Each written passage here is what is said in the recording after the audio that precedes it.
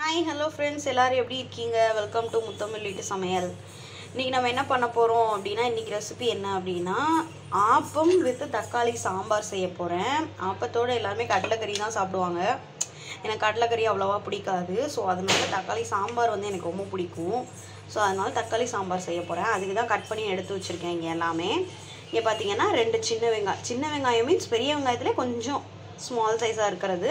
ரெண்டு வெங்காயம் ஒரு மூணு தக்காளி அப்புறம் காரத்துக்கு தகுந்தாப்பில் பச்சை மிளகா அப்புறம் கொஞ்சம் கருவேப்பிலை எடுத்து வச்சுருக்கேன். வாங்க இப்போ சாம்பார் எப்படி செய்கிறது அப்படின்றத பார்த்துடலாம் கடாய் அடுப்பில் வச்சுருக்கேன். அதில் ரெண்டு ஸ்பூன் நல்லெண்ணெய் சேர்த்துருக்கேன். இதில் கொஞ்சமாக கடுகு அப்புறம் கொஞ்சமாக ஜீரகம். ஒரு அரை ஸ்பூன் வைங்களேன் சேர்த்துட்டு கடுகு நல்லா பொரிஞ்சிருச்சு இப்போது இந்த வெங்காயம் தக்காளி எல்லாம் கட் பண்ணி வச்சுக்கோங்க.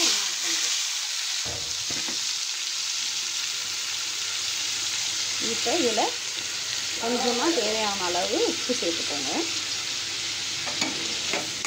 கல்லுப்பு சேர்த்திங்க அப்படின்னா டக்குன்னு வதங்கிடும் அதனால தான் நான் கல்லுப்பு சேர்க்குறேன். ஒன்றாவே வதக்கிக்கோங்க ஒன்றும் பிரச்சனை இல்லை. ஏன்னா சாம்பார் தானே வைக்க போகிறோம் தக்காளி சாம்பார் தானே வைக்க போகிறோம் ஸோ அதனால் நல்லா வெந்துடும்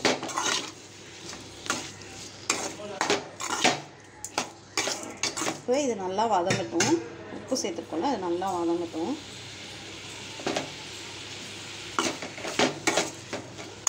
அடுத்து நான் என்ன காட்டுறேன் அப்படின்னு பாருங்கள் இங்கே பார்த்தீங்கன்னா ஆப்பத்துக்கு மாவு ரெடி பண்ணி வச்சுருக்கேன். இங்கே பார்த்தீங்கன்னா இந்த இந்த கன்சிஸ்டன்சிக்கு வச்சுக்கோங்க. நல்லா தண்ணியாக வச்சுக்கோங்க மாவு. நேற்று நைட்டே ஆ ஆட்டி வச்சுட்டேன் நான் மாவை. இப்போ பார்த்தீங்கன்னா நான் எந்த மெ மெஷர்மெண்ட்டில் சேர்த்துருக்கேன் அப்படின்னா நான் உலக்கு வச்சுருக்கேன்னா அந்த இதில் சேர்த்துருக்கேன். உலக்கு வச்சுருக்கேன்.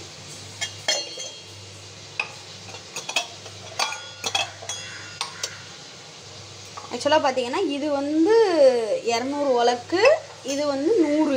நூறு அளவு பிடிக்கும். இது எவ்வளோ பிடிக்கும்? இது ஃபைவ் ஹண்ட்ரடா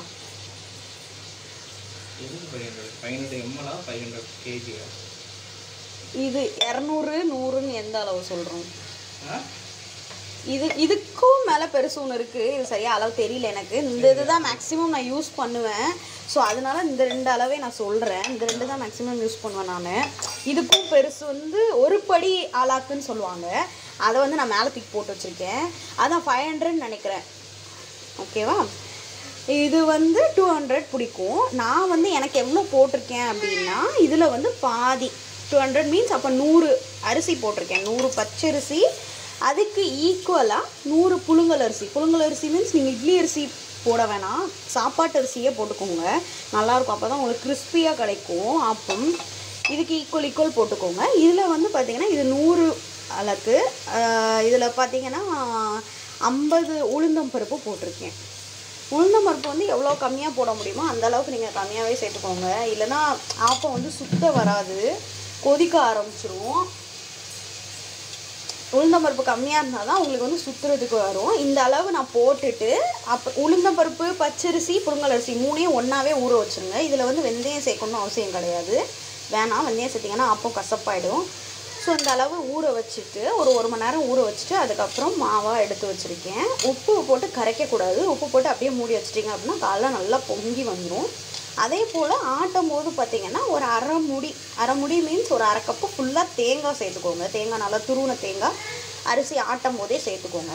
அதே மாதிரி பார்த்திங்கன்னா என்ன பதத்துக்கு அரைச்சிருக்கேன்னா இந்த மாதிரி குறை குறைன்னு அரைச்சிக்கோங்க. ரொம்ப மையாக அரைச்சிங்கனாலும் அப்போ உங்களுக்கு சுத்தம் வராது. நான் சுத்தம் ஏன் அப்படி சொல்கிறேன் இந்த மாதிரிலாம் அளவு சொல்கிறேன் அப்படின்றத நீங்கள் நான் சுத்தம் போது காட்டுறேன் பாருங்கள் இந்த மாதிரி அதே மாதிரி இந்த மாதிரி தண்ணியாக வச்சுக்கணும். தோசை பதத்தை விட ரொம்ப தண்ணியாக வச்சால்தான் உங்களுக்கு ஈஸியாக இருக்கும். உப்பு போட்டு நைட்டு வச்சிட்டிங்க அப்படின்னா காலைக்கு நல்லா புளிச்சிரும். அதே மாதிரி இந்த மாதிரி தண்ணி ஊற்றி கரைச்சி எடுத்துக்கோங்க. வா- சுடையில் நான் காட்டுறேன். தக்காளி வெங்காயம்லாம் நல்லா வதங்கிடுச்சு வதங்கி சுருங்கிருச்சு. இப்போ இந்த ஸ்டேஜில் வந்து நம்ம என்ன ஆட் பண்ணுறோம்னு பார்த்தீங்கன்னா கொஞ்சமாக மஞ்சள் தூள்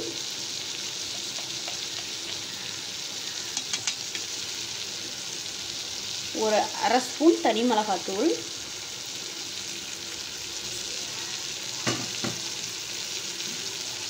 ஒரு ஒன்றரை ஸ்பூன் அளவு குழம்பு பொடி குழம்பு மிளகா பொடி. உங்கள் காரத்துக்கு தகுந்தாப்புல சேர்த்துக்கோங்க. இதை நல்லா மிக்ஸ் பண்ணி விட்டுக்கோங்க.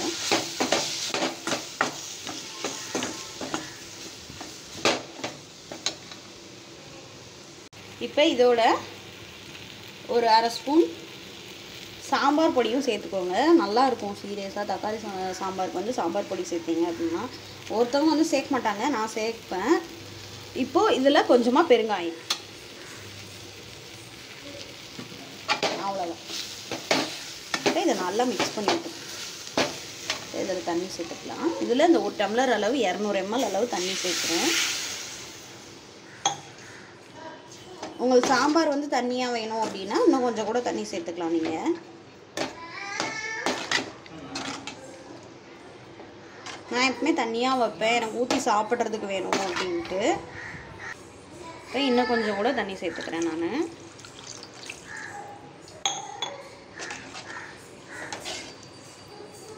இப்போ இதில் உப்பு காரம் எல்லாம் செக் பண்ணிக்கோங்க.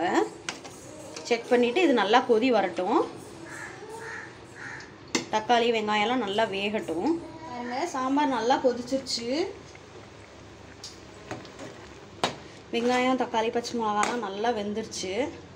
இப்போ நான் என்ன ஆட் பண்ணுறேன் அப்படின்னா இங்கே பார்த்தீங்கன்னா ஒரு ரெண்டு ஸ்பூன் அளவு கடலை மாவு எடுத்து வச்சுருக்கேன். நீங்கள் கடலை மாவு சேர்க்கறனாலும் சேர்த்துக்கலாம். இல்லை பொட்டுக்கடலை இருக்குல்ல பொட்டுக்கடலையை வந்து நல்லா மிக்சியில் போட்டு அடைச்சிட்டு அந்த மாதிரி சேர்க்கறனாலும் சேர்த்துக்கலாம். இப்போ இதை நல்லா தண்ணி விட்டு கரைச்சிட்டு அது சாம்பாரோட ஒன்றா ஆட் பண்ணிக்கலாம். சூப்பராக இருக்கும். சாம்பார் வந்து உங்களுக்கு கொஞ்சம் திக்காக இருக்கும். ஊற்றி சாப்பிட்றதுக்கு நல்லாயிருக்கும் இப்போ இந்த மாதிரி நல்லா கரைச்சிக்கோங்க. கட்டி இல்லாமல் கொஞ்சமாக ரொம்ப இல்லை. கொஞ்சமாக ஒரு ரெண்டு ஸ்பூன் அளவு சின்ன ஸ்பூன் அளவு. நான் பவுல் ரொம்ப பெருசாலாம் வச்சுக்கல. இங்கே பாருங்கள் சின்ன பவுல் தான். இதை அப்படியே ஊற்றிட்டேன்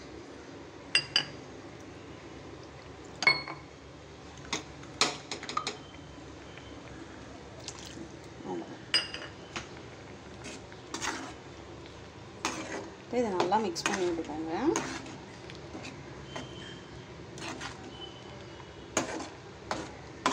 இப்போ இதை வந்து லோ ஃப்ளேமில் வச்சுக்கலாம் ஹை ஃப்ளேமில் வச்சிங்கன்னா அது ஒரு மாதிரி அந்த கடலை மாவு வந்து ஒரு மாதிரி மேலே அந்த ஒரு மாதிரி டாட் டாட்டாக தெரியற மாதிரி மாவு மேலே தனியாக வரும். பாருங்கள் நல்லா இருக்க இருக்க. நல்லா கெட்டி ஆகுது சாம்பார். இன்னும் விட்டிங்கன்னா ரொம்ப கெட்டி ஆயிரும் ஸோ அதனால் கொஞ்சம் கொஞ்சமாக தண்ணி சேர்த்துக்கோம். எனக்கு இந்த கன்சிஸ்டன்சி போதும். ஸோ இந்த ஸ்டேஜில் நான் ஆஃப் பண்ணிக்கிறேன். கொஞ் இறக்கும் போது கொஞ்சமாக சோம்பு சேர்த்துக்கோங்க. நல்லாயிருக்கும்.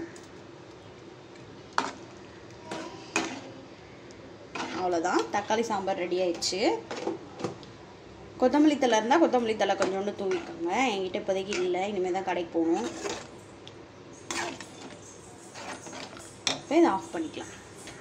அவ்வளோதான் இப்போ ஆப்பம் ஊற்றிக்கலாம் இப்போ ஆப்பத்துக்கான கடாயை கா காய வச்சுருக்கேன். நல்லா சூடாக இருக்குது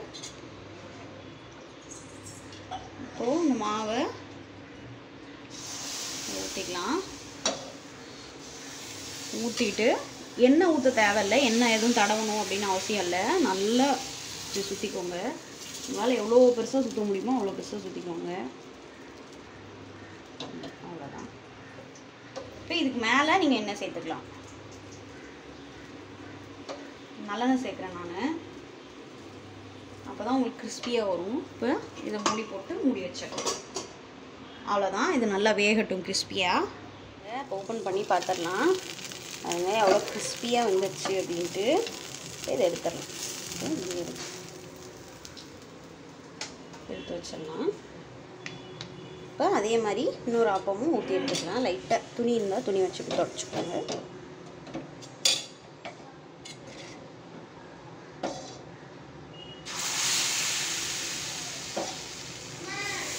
இப்போ சுற்றிக்கலாம் பாருங்கள் அப்போ சூப்பராக ரெடி ஆயிடுச்சு.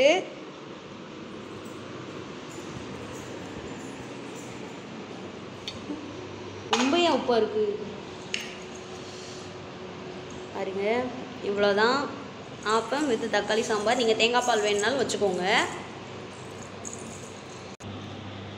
அவ்வளோதான் சூப்பராக ரெடி ஆகிடுச்சு கண்டிப்பாக இது நீங்களும் உங்கள் வீட்டில் ட்ரை பண்ணி பாருங்கள் எப்படி இருக்குன்னு கீழே கமெண்ட்டில் சொல்லுங்கள் இந்த வீடியோ பிடிச்சிருந்தா லைக் பண்ணுங்கள் ஷேர் பண்ணுங்கள் மறக்காமல் சப்ஸ்கிரைப் பண்ணிடுங்க. பக்கத்தில் உள்ள பெல் ஐக்கானையும் ப்ரெஸ் பண்ணிடுங்க. இன்னொரு வீடியோவில் பார்க்கலாம். அது வரைக்கும் பாய்